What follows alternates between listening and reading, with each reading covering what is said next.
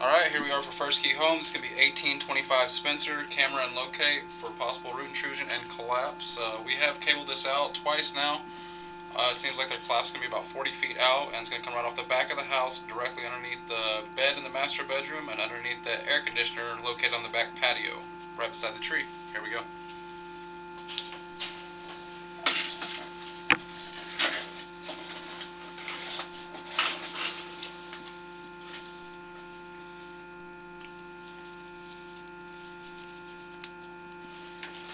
Alright, coming through, old cast iron pipe, small itty bitty root intrusion right here, no big problems.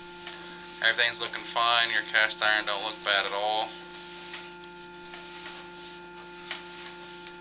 Here it comes, straight shot.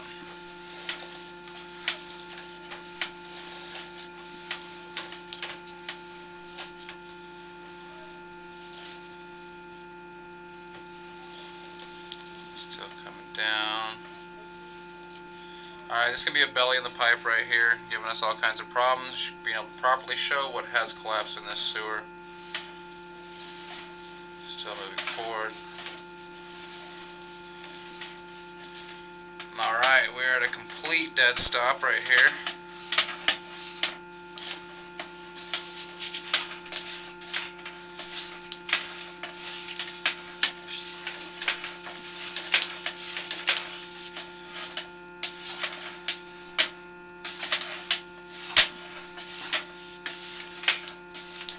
Getting no further.